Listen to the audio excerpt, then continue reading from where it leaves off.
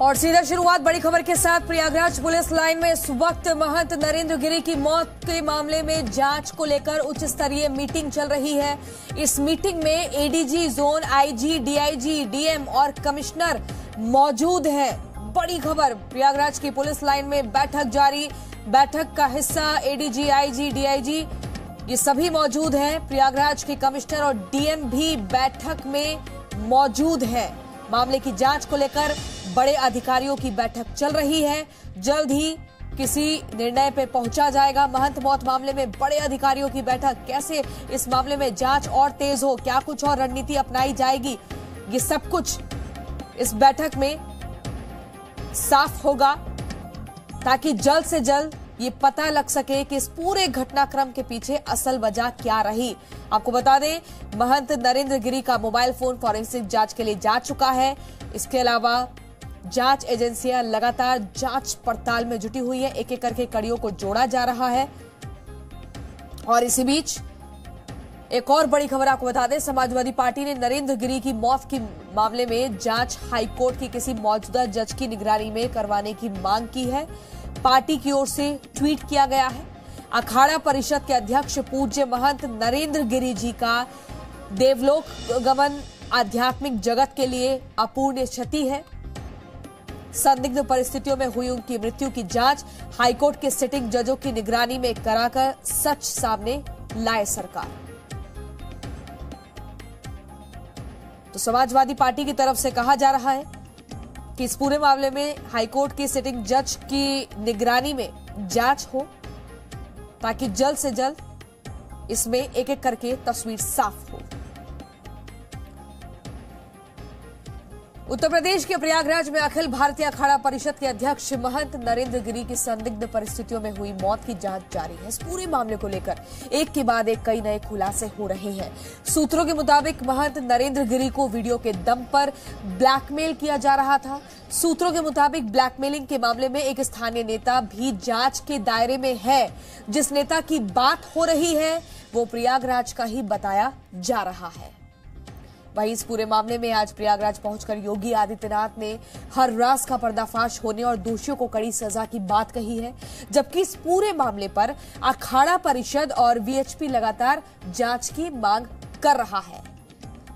महंत नरेंद्र गिरी की संदिग्ध मौत पर विश्व हिंदू परिषद ने भी दुख जताया है। वीएचपी ने मौत पर जाँच की मांग की है। अखाड़ा परिषद के अध्यक्ष होने के बाद भी उसकी मर्यादाओं में रहते हुए भी। हिंदू समाज की सब धाराओं को संगठित करना, हिंदुओं को बलशाली करना, राम मंदिर का निर्माण होना, और अपने समाज के दोषों को दूर करने वाला ऐसा प्रयत्न करते रहे वो जीवन भर। उनका अभाव हमें खलेगा, और उस अभाव की पूर्ति हम कर सकें। इसका हम प्रयत्न करेंगे। उनकी आत्मा को शांति मिले, इसके लिए ईश्वर से प्रार्थना करें। ये दुखद है कि ये मृत्यु स्वाभाविक नहीं थी। आत्महत्या उन्होंने की, ऐसा सुसाइड नोट बता रहा है। मुझे बताया गया है कि जिन लोगों का नाम उस सुसाइड नोट में है, उनके खिलाफ 306 में मुकदमा दर्ज किया गया। माने अबेटमेंट टू सुसाइड पूज्य नरेंद्र गिरी जी महाराज एक महान संत थे। वो निरंजनी अखाड़े के श्रीमंत थे और बागंबरी गद्दी के भी पीठाधिपति थे। और जो अखाड़ा परिषद है, उसके अध्यक्ष थे। अनेक अखाड़ों को वो संचालित कर रहे थे। पूज्य संतों का और खासकर उनका हिंदू समाज पर विशेष कृपा रही है। उनका अचानक आकस्मिक, जो ब्रह्मलीन होना विश्व हिंदू परिषद और हिंदू अखिल भारतीय अखाड़ा परिषद के अध्यक्ष और निरंजनी अखाड़ा के सचिव महंत नरेंद्र गिरी की संदिग्ध मौत के मामले में उनके शिष्य आनंद गिरी को पुलिस ने गिरफ़्तार कर लिया है। लेकिन जूना अखाड़ा के प्रवक्ता महंत नारायण गिरी ने सीबीआई जाँच की मांग की है, जबकि हनुमानगढ़ी के महंत राजू दास ने कहा कि नरेंद्र गिरी आत्महत्या नहीं कर सकते हैं। हमने अभी भी सुना कि नरेंद्र गिरी जी महाराज ने आत्महत्या कर लिया है। बहुत ही दुख की बात है। हमारे बहुत अच्छे मित्र थे। हमारे पैर के नीचों की तो ज़मीन नहीं खिसक गई। हमें उत्तर प्रदेश के मुख्यमंत्री से पूर्ण विश्वास है कि मुख्यमंत्री जी जो है सीबीआई जाँच का आदेश देंगे और इसमें जो है दूध का, दूध पानी का पानी हो जाएगा। निश्चित रूप से मुझे कुछ षड्यंत्र की भी बदबू आ रही है। अगर हम लोग को तनिक भी आभास हो पाता कि ऐसा कुछ होने वाला है तो शायद ये आज जो देखने को मिल रहा है, ऐसा कुछ होता ना, वो हमेशा की तरह एकदम नॉर्मल थे, उन्होंने उसी तरह भोजन किया। लेकिन जो ये पूर्व की घटनाएँ रही हैं, उनके आचरण पे उंगली उठाना, उनके व्यक्तिगत जीवन में उंगली उठाना, इन सारी चीज़ों से मुझे लगता है कि जो सुसाइड नोट में है, उससे परेशान थे वो। और जिनका भी नाम सामने आ रहा है मुझे लगता है कि उनके द्वारा भी परेशान थे वो। तो उन्होंने जो कदम उठाया है, वो हम सभी के लिए और ये इस पूरे समाज के लिए दुर्भाग्यपूर्ण है। अखिल भारतीय अखाड़ा परिषद के अध्यक्ष महंत नरेंद्र गिरी की संदिग्ध मौत से पूरा संत समाज दुखी है। यूपी के कैबिनेट मंत्री सिद्धार्थनाथ सिंह ने कहा कि मामले की जाँच चल रही है। वहीं बीजेपी सांसद रीता बहुगुणा ने कहा कि संत की मौत पर राजनीति नहीं होनी चाहिए। देखिए, ये बड़ा दुखद घटना है, क्योंकि मैं प्रयागराज से आता हूँ तो एक सदमा भी रहा, क्योंकि हम लोग व्यक्तिगत उनके साथ उठना बैठना रहा, उनका आशीर्वाद मिलता था। मैं कल बुलंदशहर था जब ये घट मेरे को सूचना मिली थी। लेकिन जिस प्रकार से वो आत्महत्या हुई है, कहा जा रहा है, और उसके साथ साथ एक उनका एक नोट भी है, जिसके अंदर कुछ चीज़ें लिखी गई हैं। अब उसको देखते हुए पुलिस जाँच कर रही है, मेरी स्वयं भी बात हुई है वहाँ पर एडीजी के लेवल पर, और वो जाँच हो रही है। जाँच के बाद उसमें क्या चीज़ निकलती है और फिर निर्णय और कुछ करना हो तो वो भी किया जा सकता है। लेकिन अभी फोरेंसिक एक रिपोर्ट आ जाए और सुसाइड नोट का भी तो उसके बाद हम लोग देखते हैं क्या है, क्या नहीं है। और मगर ये दुर, दुर्भाग्य है। ये पूरी तरह से पूरी तरह से भ्रामक और दोषपूर्ण है। इस मामले की राजनीति बंद होनी चाहिए। ये राजनीतिक विषय नहीं है एक संत भ्रमलीन हुए हैं। किन परिस्थितियों में हमारी सरकार पर पता लगा लेगी। और सरकार हमारी इतनी संवेदनशील और इतनी कानून के मामले में सख्त है कि कोई बख्शा नहीं जाएगा। महंत की संदिग्ध मौत पर शिवसेना सांसद संजय राउत ने कहा कि पालघर में जब दो साधुओं की हत्या हुई थी तो सवाल उठे थे, महंत की मौत की जाँच होनी चाहिए। वहीं बीएसपी नेता सुधींद्र भदौरिया ने कहा कि मामला गंभीर है और इसकी निष्पक्ष जाँच होनी चाहिए। आत्महत्या का मामला है, लेकिन रहस्यमय है। उनका जो मन था बहुत ही खंभीर था। उनके इरादे बहुत पक्के रहते थे, जब उनसे बात करते थे। तो ऐसी व्यक्ति, ऐसे हमारे मार्गदर्शक आत्महत्या कैसे कर सकते हैं? नरेंद्र गिरी जी की दर्दनाक रहस्य मौत के बाद भी यही सवाल, महाराष्ट्र पूछेगा, पूरा उत्तर प्रदेश पूछेगा और दिल्ली तक ये सवाल पूछते रहेंगे। तो हम जानना चाहते हैं ये क्या हुआ और कैसे हुआ? नरेंद्र गिरी जी का मैंने सुसाइड नोट के बारे में पुलिस का बयान सुना है, सोशल मीडिया पर वो चल रहा है। इसमें गहराई से जाँच होनी चाहिए।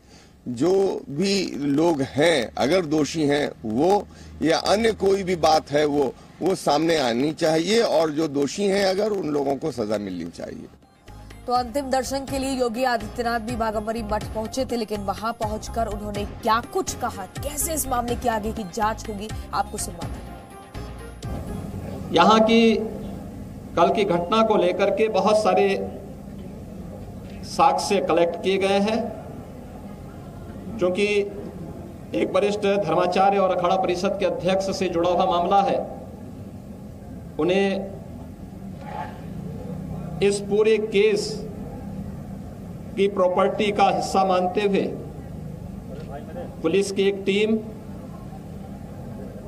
जो यहाँ के एडीजी जोन आईजी रेंज और डीआईजी प्रयागराज, ये तीनों और मंडलायुक्त प्रयागराज, ये सभी अधिकारी एक साथ मिलकर के टीम वर्क के साथ इस कार्यक्रम को आगे बढ़ा रहे हैं।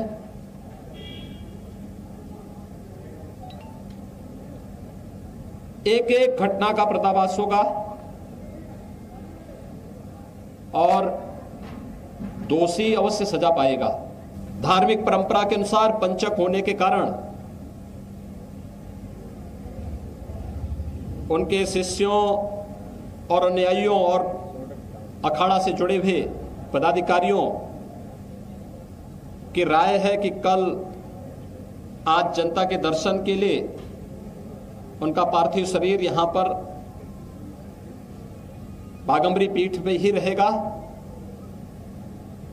कल पाँच सदस्यीय एक टीम। उनके पार्थिव शरीर का पोस्टमार्टम की कार्रवाई को संपन्न करेगा और उसके उपरांत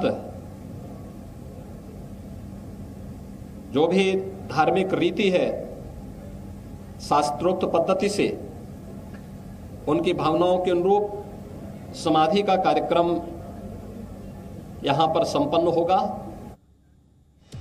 और इसी पर चर्चा के लिए हमारे साथ लगातार है महंत बजरंग दास जी और साध्वी शिवानी दुर्गा जी। सबसे पहले साध्वी शिवानी आपके पास आते हुए आपने अभी ज़िक्र किया था थोड़ी देर पहले कि आजकल कुछ लोग ऐसे हैं जो शिष्य नहीं बल्कि शिकारी का नकाब पहन के आश्रम या मठ में पहुँच जाते हैं और उन्हें पहचानना मुश्किल होता है। तो क्या आप ये कहना चाह रही है कि आनंद गिरी वही शिकारी है जिसकी नीयत संपत्ति पर थी पैसों पर थी बजाय अपने गुरु से कुछ शिक्षा लेने के? Uh, मैं uh, कोई भी कटाक्ष नहीं कर सकती इस मामले में क्योंकि मैं पर्सनली आनंद गिरी जी को नहीं जानती थी। मैं उनसे मेरा भेंट एक या आद, एक आध बार नमो नारायण हुई थी वो भी जब हमारे अखाड़ों की मीटिंग्स हुई हैं तभी उसी समय पर। uh, तो पर्सनली मैं जानती नहीं ये जाँच ही बता सकती है कि सत्य क्या है हम किसी पर दोषारोपण कर दें और वो दोषी ना निकले तो ये भी दोष हो जाता है। तो इसके लिए ये जाँच के बाद ही पता चलेगा कि सत्य क्या है कि आनंद गिरी है या उनको मोहरा बनाया गया है नरेंद्र गिरी जी के साथ इस तरह का करके और उनको भी साथ में, जैसे कि एक तीर से दो निशाने कोई लगाना चाहता हो, कोई षड्यंत्र के तहत इस चीज़ को किया गया। ऐसा शिवानी आपने एक वीडियो देखी होगी जिसमें आनंद गिरी महंत नरेंद्र गिरी के चरणों में बैठे हुए हैं माफ़ी मांग रहे हैं और अब वो बार बार उसी वीडियो का हवाला देकर कह रहे हैं कि हमारे बीच कोई विवाद था ही नहीं जो थोड़ी बहुत नाराज़गी थी वो दूर हो चुकी थी। इसके बाद उनकी कुछ घूमने फिरने की विदेशों की तस्वीरें भी आ रही है जिसमें दुबई भी वो गए हैं शिप पर भी खड़े हुए हैं महँगी लग्जरी गाड़ियों में घूम रहे हैं साधु का चोला पहनकर। तो ये सब जो चीज़ें फिर उन्होंने आरोप अपने गुरु पर भी लगाए। तो जिस व्यक्ति पर खुद इतने आरोप लगे हो महिला के साथ छेड़छाड़ के भी वो गुरु पर आरोप लगा रहा है उसको कितना गंभीरता से देखा जाए? हाँ ये एक विषय है क्योंकि मैंने भी इस तरह की खबरें सब पढ़ी थी और तब मुझे बहुत दुख हुआ था कि अगर शिष्य इस तरह से अपने गुरु के साथ करते हैं तो गुरु जिस पर गुरु सबसे ज़्यादा स्नेह रखते हैं विश्वास रखते हैं गुरु उनको अपने पास बिठाते हैं। उनसे स्नेह अपने पुत्रवत स्नेह रखते हैं उनसे। अगर वो पुत्रवत स्नेह जो शिष्य को मिल रहा है वो शिष्य ही अगर धोखा दे जाए तो इससे बड़ा सदमा गुरु के लिए नहीं होता। ये एक सत्य है। जी। और इसको हम हम इसको अनदेखा भी नहीं कर सकते जो पास्ट में घटनाएँ हुई हैं उन्हें अनदेखा नहीं किया जा सकता। लेकिन हाँ, जी जी, जी। हाँ मैं मैं स्वयं अपने अगर मैं पर्सनल इस पर व्यक्तिगत इस पर आऊँ तो मैं अभी कंक्लूजन पर नहीं आ सकती क्योंकि हमारे पास कोई तथ्य नहीं है। मेरे पास ठीक है महान बजरंग दास जी आप समाजवादी पार्टी ने भी कह दिया है कि इस पूरे मामले की जो जाँच है वो हाईकोर्ट की सिटिंग जज की निगरानी में होनी चाहिए। तो इस स्टेटमेंट को आप किस तरीके से देख रहे हैं? क्योंकि इस पूरे मामले में इस पूरे घटनाक्रम में किसी नेता का भी कुछ माना जा रहा है कि उस नेता का भी रोल है, वो भी काफ़ी मानसिक दबाव बना रहा था, परेशान कर रहा था। लेकिन वहीं दूसरी तरफ़ समाजवादी पार्टी कह रही है कि इस तरीके से जाँच होनी चाहिए। कैसे देख रहे हैं आप?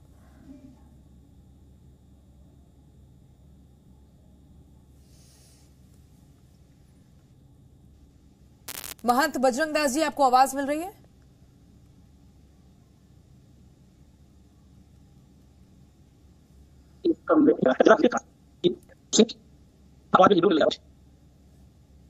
देखिए इसका राजनीतिकरण होना चाहिए आज नहीं है लेकिन इसका राजनीतिकरण नहीं होना चाहिए दूसरी चीज़ मुझे जो लगता है वर्तमान की परिस्थितियों में आजकल मठ है मंदिर है इनके जो आश्रमों की संपत्ति पर भू माफियाओं का गुंडों का एक निगाह बनी रही है। हो सकता है कि पुलिस को उस एंगल से भी एक जाँच करनी चाहिए। कहीं ना कहीं से कुछ षड्यंत्र की बू आ रही है पक्का है। अब क्या है क्या नहीं है ये तो जाँच के बाद मालूम पड़ेगा ये जाँच का विषय है। लेकिन वर्तमान की परिस्थितियों में जितने भू माफिया हैं गुंडा है बदमाश है। ठीक है। एक छोटा सा रिएक्शन साध्वी शिवानी जी आपसे। इस क्या लग रहा है आपको इस पूरे मामले में अब राजनीतिकरण हो रहा है? राजनीतिक मामला एकदम तूल पकड़ता जा रहा है जो होना नहीं चाहिए। और आने वाले उत्तर प्रदेश में के चुनावों में इस पूरे मामले पर राजनीति भी हो सकती है क्या? क्या ऐसा समझे? जी संभव तो कुछ भी संभव है आज के समय में, लेकिन मेरा बस ये, मैं आपके चैनल के माध्यम से कहूँगी कि इसको प्लीज़ राजनीति ना बनाए। ये बहुत गहन विषय है साधु समाज की मर्यादा, जिस तरह से राष्ट्र की मर्यादा होती है, इसी तरह से साधु समाज की अपनी मर्यादा है। जिस तरह से राष्ट्र हमारा मान है, हमारा सरताज है उसी तरह से साधु समाज भी हमारे माननीय है और इनके ऊपर राजनीति ना करते हुए हमें जो ज़रूरी स्टेप्स हैं वो लेने चाहिए और इसको जाँच करके और लोगों के सामने अनुयायियों के सामने इसका सच रखना चाहिए और जो दोषी हैं उन्हें सजा देनी चाहिए। बहुत बहुत शुक्रिया साध्वी शिवानी जी और महंत बजरंग दास जी। आपने जी न्यूज़ के लिए अपना कीमती वक्त निकाला लेकिन सवाल अभी भी सुलझे नहीं है। अभी भी पूरी जो स्थिति है जो पूरी मिस्ट्री है वो पूरी गुत्थी उलझती ही जा रही है। कड़ियाँ एक के बाद एक जुड़ रही हैं, लेकिन तस्वीर साफ़ नहीं हुई है। जाँच का विषय है, क्या मठ की ज़मीन ही असल विवाद का पूरा मुद्दा बनी। Presenting news app available on Google Play and app store downloaded now